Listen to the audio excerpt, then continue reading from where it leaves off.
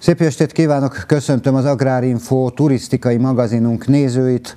Negyedszázados jubileumát ünnepli a Virágos Magyarországért verseny. A díjazott Fejér megyei települések Velencén osztották meg tapasztalataikat egymással.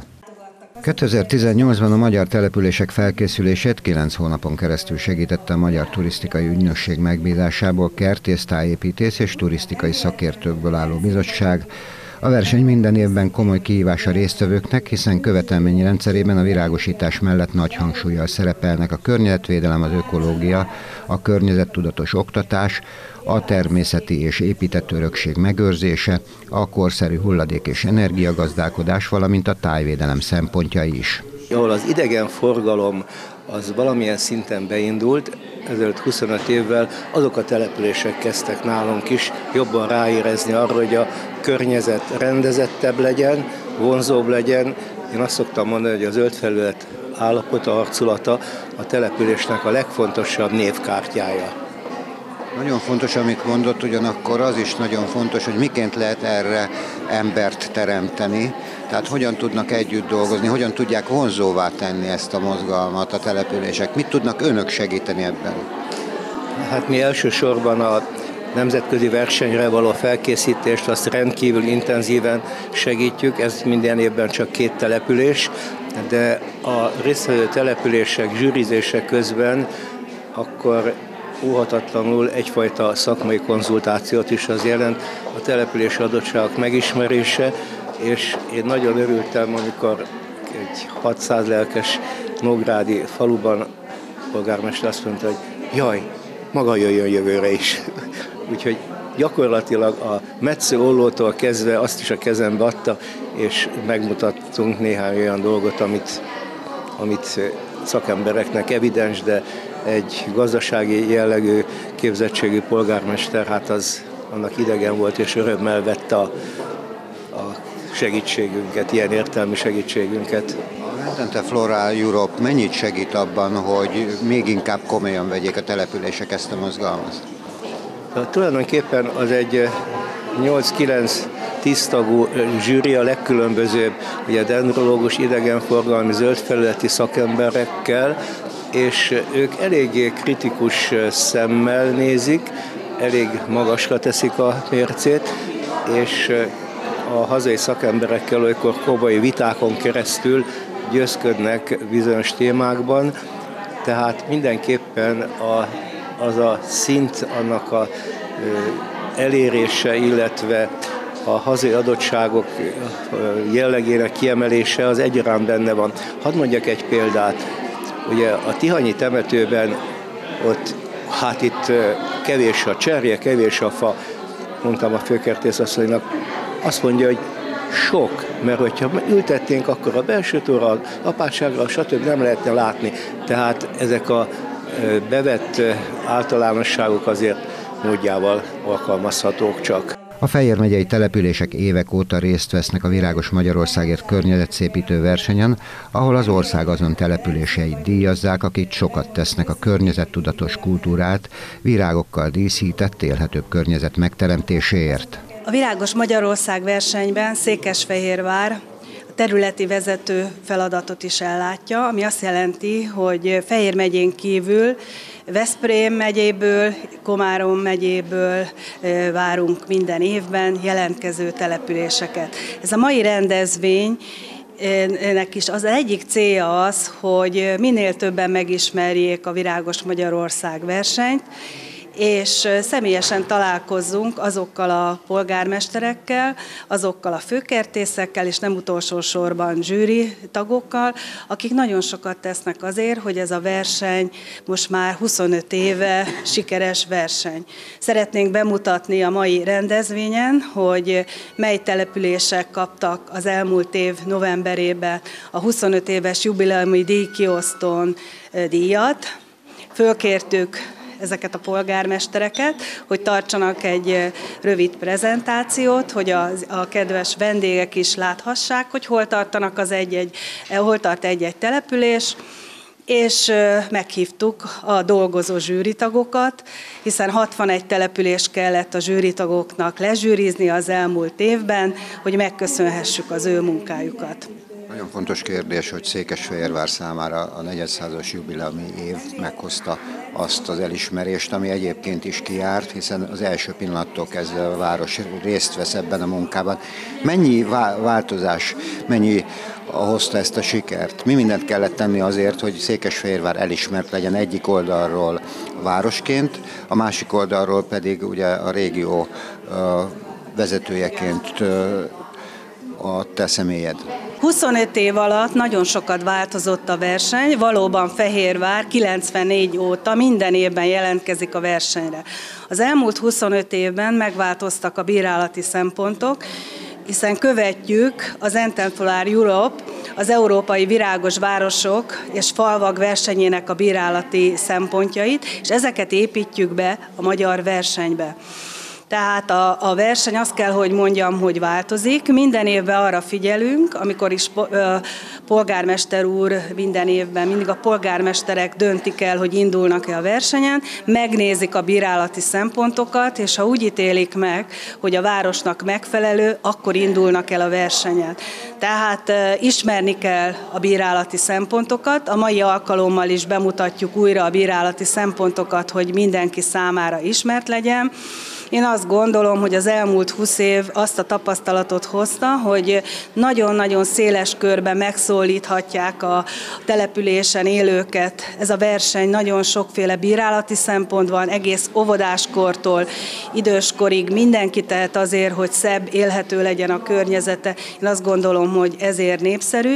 És amikor Fehérvára jönnek zsűrizni, akkor mi abba az egy zsűrizési napba, ami sajnos csak 8 óra, bemutatjuk azokat az elért elért sikereinket, amik lehetnek országosan követhető, például a városzépítő programunk, amit most már nagyon sok település átvet, de beszélhetünk akár a megújult körforgalmainkról, a másképp megtervezett egynyári és cserje és parkjainkról, a játszóparkjainkról, úgyhogy nagyon sok olyan szép dolog van, amivel már mi is büszkélkedhetünk, nem beszélve tavaly a megújult sóstóról, ahova már szintén el tudtuk vinni a zsűritagokat, de minden évben úgy állítjuk össze ezt a bejárási útvonalat, hogy az előző évhez képest milyen fejlesztések valósultak meg Fehérváron. Velence város turisztikai különdíjban részesült a Velencei Tavi város a tavalyi Aranyrózsa díj után idén az 500 ezer forint értékű promóciós jutalommal együtt járó elismerést a Magyar Turisztikai Ügynökségtől kapta.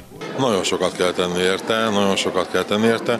Mi is egyébként elég korán becsatlakoztunk már, mint a település a Virágos Magyarország programba, bár díjat nagyon régen e, nyertünk, ezért, ezért egy kicsit jobban összekaptuk magunkat az utóbbi időben, ezért egy kicsit jobban meghallgattuk a, a zsűrit, az elnök urat, a véleményeket abban, hogy miként kéne változni, hogyan kéne tenni.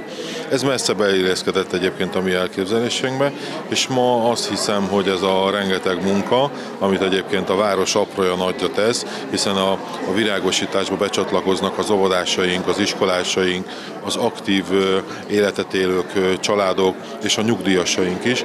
Biztos ez is meglátszik abba az eredménybe, amit a zsűri 2017-ben és 2018-ban is nagyon rangos díjjal jutalmazott. Nem mehetünk ezt szó nélkül, hogy itt az önkormányzat mellett és az itt élők mellett ott vannak azok is, akik csak szezonban velencei polgárok. Őket hogyan lehet meggyőzni így együtt, hogy részt vegyek ebben a munkában, hiszen ez csak úgy lehet eredményes? Ezt nem tudom pontosan, tehát hogy nincsenek erre eh, vonatkozó kimutatásaink, hogy a, hogy a élők eh, mennyire csatlakoznak be ebbe mi nem is ez szerint mérjük igazándiból az embereket, és nem is kényszerez. E, minden évben meghirgetjük kétszer is ezt a programot, és akik jönnek, őket szeretettel várjuk, és adunk nekik e, nyilván megfelelő szakemberek vezetésével e, munkát, és akik pedig nem jönnek, azok, azoknak nyilván megvan az okuk. Azért azt el kell mondanom, hogy egyre többen csatlakoznak be helyi vállalkozók, akik azt mondják, hogy, hogy egy adott parcellát, vagy egy adott virágágyást megcsinálnak ők, megveszik hozzá ők a virágot, csak kapjanak egy kis szakmai iránymutatást. Úgyhogy ez, ez jó hír a számunkra. Elmúlt évek sikere tükrében milyen tervekkel vágnak neki 2019-nek? Hát a nemzetközi megmérettetés az igazi célunk. Én azt gondolom, hogy van nem olyan messze mellettünk a, a Székesfehérvár, és a nemzetközi porondon ugye egy kisebb és egy nagyobb településnek kell rendszeresen megmutatnia magát. Én úgy tudom, hogy Székesfehérvárnak is az a célja, hogy nemzetközi porondon megmutassa magát és hasonló sikereket érjen el, mint az elmúlt évben Veszprém, aki, aki ezt megtehette. Én azt gondolom, hogy mi lehetnénk mellette az a kisváros, aki miatt nem kellene szégyenkeznie, és akivel közösen e, ismét egy siker, sikert könyvelhetne Magyarország ezen a téren. Az ápolt gondozott környezetben a tudatosság is megjelenik. Rácalmás egyike volt annak a négy településnek, amelyek a közép-magyarországi régióban kiérdemelték a Virágos Magyarországért verseny szigorú zsűriének értékítéle alapján az év települése díjat. Rácalmáson ezt összefogással tesszük, az önkormányzat, a civil szervezetek és a lakosság összefogásával zajlik folyamatosan minden évben a virágosítás. Ez azt jelenti, hogy az adott időpontban érkeznek az önkormányzat és a civil szervezetek által megrendelt virágok, és ezt közös erővel ültetjük a lakosság, a civil szervezetek, jó részt a Városvédő és Szépítő Egyesület, valamint az önkormányzati dolgozók. Hogy születnek meg a tervek? Rácámásnak a főkertésze már évekkel ezelőtt legyártotta a terveket, ugye a kertészmérnöki terveket, és ezek alapján dolgoznak a, a lakosok és az önkormányzati dolgozók is. Mennyire nehéz mostanság a saját tapasztalata szerint megszólítani a, a település polgárait? Hát a település polgárai nálunk nagyon-nagyon sokat tesznek a településért, élvezik, hogy Rácalmáson lakhatnak, és hogy szépíthetik Rácalmást, hiszen ez az ő érdekük is, nem csak az önkormányzati, mivel ez egy élhető település, ahol az emberek aktívan élnek, ezért nagyon-nagyon szívesen jönnek dolgozni minden egyes megmozdulásra. Alsó Szent Iván község a kertörökség és kerturizmus kategóriában részesült elismerő kitüntetésben. Elég kis település Alsó Szent Iván, kevesebb, mint 600-al lakunk. Mi próbálkozunk mi is a lakosságot bevonni mindenféle közös társadalmi munkákba, ezzel próbáljuk a közösséget jobban formálni. Virágosítási programokat csináltunk, és mondjuk a, pont a Virágos Magyarországon az elért díjunkat, az pedig egy, a templomunknak volt egy gyönyörű felújítás, amit a Fehérvári Egyház megye csinál, hajtott végre, amit külön köszönet Spányi Antal Püspök úrnak, mert ő nélkül ez nem jött volna létre, és egy bámulatos parkot, kinti misézővel ellátott parkot csináltak, és mi, hál' Isten, ezzel sikerült is nyernünk ezen a versenyen. Mindent kell tennünk a hétköznapokon azért, hogy egy ilyen bírálati nap valódi ünnep lehessen, és sikert hozzon. Hát elég, elég sok mindent próbál tenni az ember, de sajnos nem mindig, mert ugye kis település is vagyunk, és nagyon sok az idős nálunk, akiket elég nehéz mozgatni. Van egy kis mag, akikkel lehet, akik, akik tenni akarnak, és ott próbáljuk őket mozgatni minél jobban, noszogatni őket, hogy virágosítsunk, mindenki tartsa tisztán a portáját, és ez, ez vezethet csak így eredményre. Az Entente Floral Europe több mint verseny, a kampány az európai közös környezeti és kulturális értekek megóvásáért, az élhetőbb környezet megteremtéséért, az európai összetartozás jegyében működik. A nemzetközi megmérettetésen Lajos Komárom ezüst elismerést kapott a falu kategóriában. Nagyon örültünk, hogy ilyen nagy eredményt tudtunk elérni. Elég sok mindent kell hozzá. Én személy szerint az én megítélésem azért a, a cím Virágos Magyarország, de viszont nem csak erről szól, nem csak a virágokról, nem erről szól, hogy ezer virágot ültetünk, vagy több ezer palántát kihelyezzünk, hogy, hogy szép legyen virágos. Itt egész háttér háttér is fontos. Az, hogy, hogy mennyire élhető a falu, mennyire használható hogyan lehet jól érezni magát a, a faluba, és a mi falunk most utolsó években, ami főleg a polgármester úrnak köszönhető, nagyon sokat fejlődött. Nagyon sok sport létesítmény új lett létrehozva, van egy több kilométeres Nordic Walking pályánk, a a sport focipálya teljesen megújult, meg lett nagyítva a sportöltöző, új ilyen műpálya lett építve hozzá. Nagyon sok gyerekcsoport van, akik kézilabdáznak, fociznak, úgyhogy nagy, nagyon sok minden történik, épületek is lettek felújítva, a központ teljesen felújult, csatornázás, árokrendszer kialakítás, nagyon-nagyon sok minden, úgyhogy nem csak a virágok, hanem ez a sok minden több, ami, ami kell hozzá, hogy, hogy tényleg jó élhető legyen a falu, és, és jól érezzenek magukat az emberek benne. Hogy tudnak együtt dolgozni az önkormányzat, illetve a, a település lakói? A település lakói, hála Istennek nálunk elég fegyelmezettek és nagyon igényesek, úgyhogy nem sok olyan porta van, ami el van maradva, leginkább ott, ahol esetleg elhalalazott valaki, nem lett még értékesítve az ingatlan. Általában mindenki azért rendezi, gondozza a saját területét a házon belül, meg házon kívül, úgyhogy ebből szempontból szerencsések vagyunk. Milyen tapasztalatokkal gazdagodtak a Entente Floral Europe verseny kapcsán? Sok mindenre felnyitottak a szemünket, hogy még mit kellene javítani, mit kellene fejleszteni, mire figyeljük oda, hogy ez amíg van, tudjuk megtartani, és még jobbá is szebbé tenni. Elismerést vehettek át Iszka György képviselő is. A lakosság mindenki egyesével is tehet azért, hogy a saját környezetét szebbé teszi, illetve hogyha odafigyelünk a közterületekre, mindenki a magáénak érzi a saját települését, és igazából ez a mozgalom nem csak konkrétan arról szól, hogy hány növényt ültetünk el, hanem hogy mennyire vagyunk tudatosak az általános mindennapjainkban, a hétköznapokban, hogy fenntarthatóan élünk-e, hogy egy település fenntarthatóan kormányoz-e, egy hajót, és a lakos csatlakozik-e, támogatja-e az önkormányzat munkáját benne. Tehát itt a szelektív hulladékgyűjtés is beletartozik, nem csak a virágültetés vagy faültetés, illetve ezeknek a megőrzése, hogyha valamit elültettünk, akkor vigyázzunk rá. Hogyan kell tudatosan terveket szőni ehhez? Hogyan tudják bevonni minél nagyobb számban a lakosságot? Ez nagyon fontos, hogy aki él egy településen, az úgy érezze, hogy ez a saját otthona, és hogyha ott lát egy értéket, akkor arra, arra vigyázzon.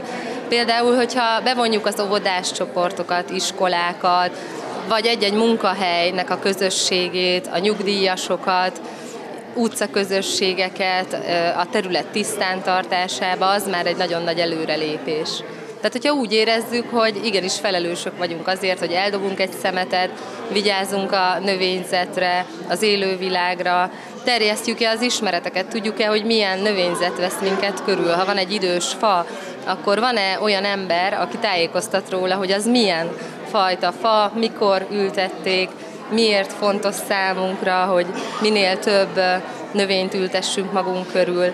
Illetve ennek a mozgalomnak van szociális területe is, tehát az is nagyon fontos, hogy mondjuk mondjuk egy munkanélkülit be tudunk-e vonni a hétköznapokba, tudunk-e neki lehetőséget biztosítani arra, hogy jól érezze magát a, az adott településen, úgy, hogyha mondjuk még nem talált munkát, van-e olyan közösség, ahova eljárhat, akikkel összefoghat, hogy a saját környezetét szebbé tegye és aztán nagyon sok olyan versenyző van ebben a mozgalomban, ahol a polgármester gondoskodott arról, hogy ne unatkozzanak a munkanélküliek a településen, hanem mozgósította őket, és először közfoglalkoztatottként, majd munkahelyet teremtve e, sikerült elérni azt, hogy a települést azok az emberek is építsék, akiket esetleg addig nem tudtak foglalkoztatni. A siker megerősítheti a településékért dolgozókat, hogy érdemes tenni, hiszen a jövő a virágos, élhető Magyarországé.